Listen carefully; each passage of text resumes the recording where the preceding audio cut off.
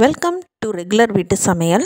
பேக்கரியிலலாம் கிடைக்கிற மாதிரி வெஜிடபிள் கட்லெட்டை நம்ம வீட்லேயே ரொம்பவே ஹெல்த்தியாக டேஸ்டியாக நம்ம வீட்டில் இருக்கிற பொருட்களை வச்சு எவ்வளோ நல்லா செய்யலாம் அப்படிங்கிறத பார்க்கலாம். இதுக்கு நம்ம ஒரு பேனில் ரெண்டு ஸ்பூன் ஆயில் ஆட் பண்ணிவிட்டு ஒரு சின்ன துண்டு இஞ்சியை நல்லா கிரேட் பண்ணி சேர்த்துட்டு அதோட கூடவே ரெண்டு பச்சை மிளகா பொடியாக அரிஞ்சதையும் ஆட் பண்ணி இது நல்லா எண்ணெயில் பொரிஞ்சு வர்ற டைமில் ஒரு பெரிய வெங்காயத்தை ரஃப்பாக சாப் பண்ணி அதையும் ஆட் பண்ணிவிட்டு இந்த வெங்காயம் நல்லா பொன்னிறமாக சாஃப்டாக வதங்கி வர்ற வரைக்கும் ஒரு மூணுலேருந்து நாலு நிமிஷம் இதை ஒரு தடவை கிளறி விட்டுக்கிட்டே இந்த அளவுக்கு கலர் சேஞ்ச் ஆகி வர்ற வரைக்கும் நம்ம வதக்கி எடுத்ததுக்கு அப்புறமா இதில் காய்கறிகளை ஆட் பண்ணிக்கலாம். ஒரு எட்டுலேருந்து பத்து பீன்ஸை நல்லா பொடியாக அரிஞ்சு சேர்த்துக்கலாம். இதில் போடுறதுலேயே கொஞ்சம் ஹார்டான காய் அப்படிங்கிறது பீன்ஸ் மட்டும்தான். அதை நம்ம சேர்த்துட்டு இதை ஒரு ரெண்டு நிமிஷம் நல்லா வதக்கி விட்டதுக்கு அப்புறமா நல்லா பொடியாக துருவி வச்சுருக்கிற ஒரு மீடியம் சைஸ் கேரட்டையும் இதில் ஆட் பண்ணிவிட்டு நல்லா ஒரு தடவை இதையும் வதக்கி எடுத்ததுக்கு அப்புறமா நம்ம இதில் போட வேண்டிய மசாலா பொருட்களை ஆட் பண்ணிடலாம். ஒரு கால் ஸ்பூன் மஞ்சத்தூள் அடுப்பை மீடியம்லேருந்து லோ ஃப்ளேமுக்கு மாற்றினதுக்கு அப்புறம் ஒரு அரை ஸ்பூன் மிளகாத்தூள் தேவைக்கேற்ப உப்பு கால் ஸ்பூன் கரம் மசாலா. இது எல்லாத்தையுமே நல்ல லோ ஃப்ளேமில் அந்த ஃப்ளேவர்ஸ் எல்லாமே நமக்கு அப்சார்ப் ஆகிற வரைக்கும் நம்ம ஒரு minimum two to three minutes இதை நல்லா சாட்டே பண்ணதுக்கு அப்புறமா நம்ம மற்ற காய்கறிகள் எல்லாம் ஆட் பண்ணிடலாம். நான் ஆல்ரெடி பச்சை பட்டாணியை நல்லா எட்டு மணி நேரம் ஊற வச்சு வேக வச்சு எடுத்து வச்சுருக்கேன். இதை ஸ்மாஷ் பண்ணி நம்ம எடுத்துக்கலாம். அதோட கூடவே ரெண்டு உருளைக்கிழங்கையும் வேக வச்சு தோல் உரித்து எடுத்து வச்சதையும் ஸ்மாஷ் பண்ணி வச்சுருக்கிறேன். இப்போ ஃபஸ்ட்டு ஸ்மாஷ் பண்ண க்ரீன் பீஸு அதாவது வேக வச்சு எடுத்ததாக இருந்தால் இந்த மாதிரி ஸ்மாஷ் பண்ணிக்கோங்க. இல்லை உங்களுக்கு ஃப்ரெஷ் க்ரீன் பீஸ் கிடைக்கிது அப்படின்னா டைரெக்டாகவே ஆட் பண்ணி மசாலாஸ் போட்டுக்கலாம். அதோட கூடவே நம்ம வேக வச்சு தோல் உரித்த உருளைக்கிழங்குகளையும் சேர்த்துட்டு இது எல்லாத்தையுமே ஒன்று சேர நல்லா கலந்து விட்டுடலாம் இது ஒரு ரெண்டுலேருந்து மூணு நிமிஷம் அதே லோ ஃப்ளேமில் வச்சு கலந்து எடுத்துக்கிட்டோம் அப்படின்னா நமக்கு இதில் இருக்கிற ஈரத்தன்மை எல்லாமே அடங்கி நம்மளுடைய அந்த மசாலா அந்த வெஜிடபிள் மசாலா வந்து நல்லா வந்து ஒன்று சேர்ந்து நமக்கு கிடைக்கணுங்க. அந்த அளவுக்கு இது எல்லாத்தையுமே நம்ம கலந்து விட்டு இதை நல்லா ஸ்மூத்தாக நமக்கு ஒரு மாவு பதத்துக்கு அதாவது நம்ம வடைக்கெல்லாம் உருட்டி எடுப்போம் இல்லையா? அந்த மாதிரி ஒரு மாவு பதத்துக்கு நம்ம இதை நல்லா வந்து கலந்து விட்டு ஸ்மூத்தாக ஸ்மாஷ் பண்ணி இந்த மாதிரி நம்ம எடுத்துக்கலாம். அவ்வளோதான். இது நல்லா ஆறிக்கிட்டு இருக்கட்டும் இது ஆறினதுக்கப்புறம் நம்ம உருண்டை பிடிச்சி கட்லட் ஷேப்புக்கு கொண்டு வந்துக்கலாம். இது பாருங்கள் பார்க்கும்போதே தெரியும். நமக்கு ஒன்று சேர்ந்து நல்லா பிறண்டு வந்திருக்குது.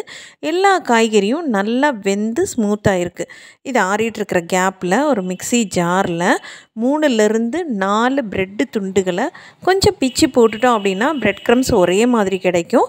அதை மூடி போட்டு ஜஸ்ட்டு ஒரு டூ செகண்ட்ஸ் அரைச்சி எடுத்தாவே போதும். பர்ஃபெக்டான ப்ரெட் க்ரம்ஸ் நமக்கு கிடச்சிரும். இதை ஒரு பிளேட்டுக்கு ட்ரான்ஸ்ஃபர் பண்ணி ரெடி பண்ணி எடுத்து வச்சுக்கலாம்.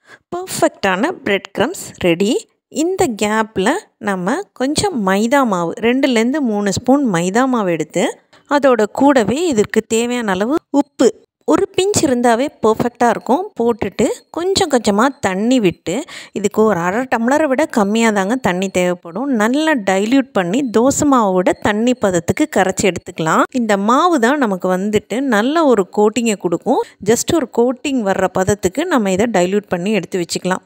இது ஒரு பக்கம் உரமாக இருக்கட்டும். வெஜிடபிள்ஸ் எல்லாம் நல்லா ஆறி வந்திருக்குங்க. இந்த ஸ்டேஜில் நம்ம இதை எடுத்து இதோட பதம் எப்படி இருக்குன்னு செக் பண்ணலாம்.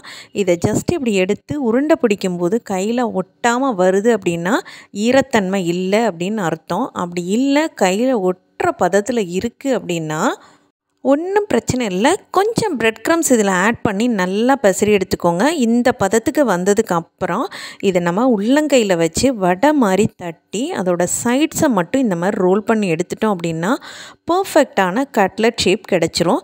இந்த மாதிரி நம்ம எல்லாத்தையும் ரெடி பண்ணி வச்சுட்டு மைதாவில் டிப் பண்ணுறதுக்கு முன்னாடியே நம்ம ஆயிலை பேன்லேயோ தவாலையோ ஊற்றி நல்லா ஹீட் பண்ண வச்சிடலாம். இதை நல்லா ஹை ஃப்ளேமில் நல்லாவே எண்ணெய் சூடேறி இருக்கும்போது தான் நம்ம வந்து கட்லட்ஸை போடணும். அதனால் இது நல்லா சூடு ஏறிட்டு இருக்கட்டும் நம்ம ஒரு நாலு நாளாக டிப் பண்ணி எடுத்து ரெடி பண்ணிவிட்டு போட ஆரம்பிச்சிடலாம். எல்லாத்தையும் டிப் பண்ணி வச்சிட்டிங்க அப்படின்னா உங்களுக்கு ஈரம் இழுத்துக்கும்.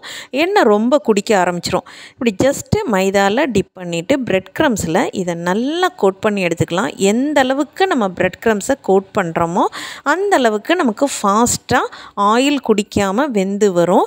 நம்ம உள்ளே போட்டிருக்கிற எல்லா இன்க்ரீடியன்ஸுமே ஆல்ரெடி எல்லாமே வெந்தது தான் ஜஸ்ட்டு இந்த மைதாவும் பிரெட் க்ரம்ஸும் மட்டும் நமக்கு ஹீட் ஆகி வந்தால் போதும். இந்த மாதிரி நாலு நாளாக ரெடி பண்ணி வச்சு போடுறது தான் அட்வைசபிளாக இருக்கும். அதிகமாக நம்ம மைதாவில் கோட் பண்ணி வச்சிட்டோம்னா எண்ணெயில் போட்டு அடுத்த செகண்ட் நமக்கு எண்ணெயை ஃபுல்லாக அந்த வெஜிடபிள் சக் பண்ணிடும். இப்போ நல்லா ஹை ஃப்ளேமில் வச்சு நாலு நாளாக நம்ம போட்டு எடுத்துக்கலாம். அவ்வளோதான் இப்போ ஒரு நிமிஷம் அதை அப்படியே விட்டுட்டு திருப்பும் போதே பார்த்திங்கன்னா பிரெட் க்ரம்ஸ் எல்லாமே நல்ல கலர் சேஞ்ச் ஆகி நல்ல ஒரு ப்ரௌனிஷ் கலருக்கு வந்திருக்குது. இதே மாதிரி நம்ம எல்லாத்தையுமே சட்டு சட்டுன்னு போட்டு எடுத்துருக்கணுங்க.